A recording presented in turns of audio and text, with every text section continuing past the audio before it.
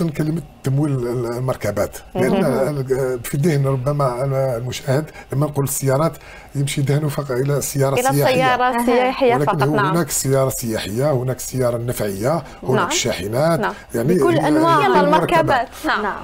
بنك البركة الجزائري يقوم آه، عنده منتوجات مصرفية مخصصة حسب كل فئة معينة.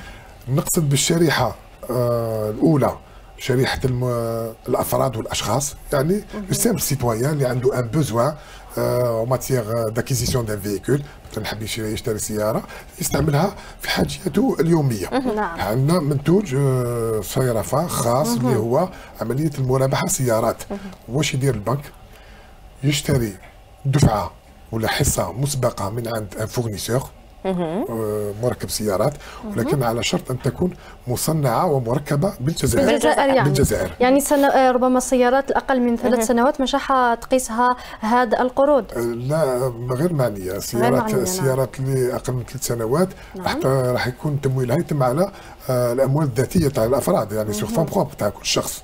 هو اللي راح يجلبها ويستوردها البنك نعم. ربما راح يكون طرف في العمليات هي عملية تاع تاع التجارة الخارجية فقط. نعم. أما حي- حيث التمويل راح يتم على آه، ذاته يعني هو son argent c'est avec son argent نتكلموا على السيارات الجديدة.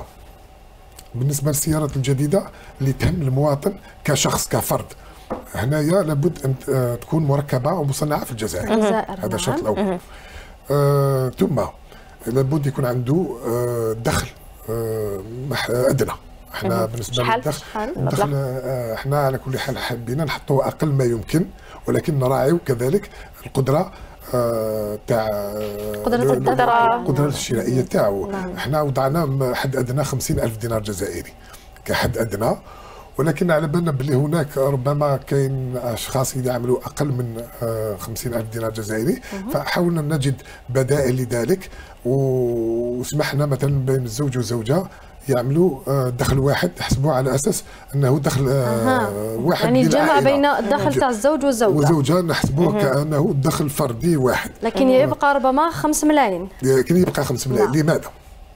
لأن هنا القانون ما يسمحش باش تاخذ أكثر من آه، لو- لو تيير تاع لو ريفوني يعني ثلث الدخل تاع الفرد. حتى يبقى له باش يواجه الحياة. لازم هذا الإنسان لازم نعم. يعيش لازم يتنقل لازم ياكل لازم يلبي حاجيات العائلة تاعو. ما لازمش ثاني ندخلوا ما يسمى le surendettement. تاع les ménages. يعني آه، الديون الإضافية اللي راح تصبح عبء كبير نعم. سيد كريم اسمح لي ربما نقاطعك فقط. نعم. ربما شخص الراتب تاعو 50 ألف دينار جزائري. في هذه الحالة كيفاش تقدروا تعملوا؟ هنا آه، 50 ألف دينار جزائري ندرسوا الملف. نشوفوا آه، سعر السيارة. اللي هو حابها هو. وحسب الدخل تاعو نشوفوا نديروا له نديروا له عملية محاكاة simulation باش نعرفوا ما هي المساهمة الشخصية تاعو اللي راح تكون في السيارة هذه لأنها تختلف. تشري سيارة ب 2 مليون دينار مثلا 200 مليون سنتيم ولا تشري سيارة ب بأربعة 4 ملايين. ملايين أكيد سنتيم. المساهمة الشخصية تاعك راح تختلف حسب الأجر تاعك. حنايا نطالبوا عادة بمساهمة شخصية تبدأ من 20% من قيمة آه، السيارة. نعم. باعتبار يعني يدفع مسبقا؟ يدفع مسبقا 20% من قيمة من السيارة قيمة السيارة.